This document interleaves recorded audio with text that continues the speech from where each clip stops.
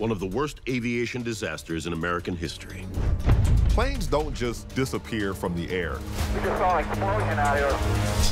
230 people killed when their jetliner explodes off the coast of Long Island. Virtually anything on the water in the vicinity is moving into the rescue area, and they're there so quickly that there's actually falling wreckage still coming out of the sky. We'll uncover the top theories for why the plane blew up. Maybe a bomb was placed on this airplane. Aircraft fuel tanks are considered explosive environments, and they have to be isolated from ignition sources. Is the U.S. government engaged in an actual government cover-up?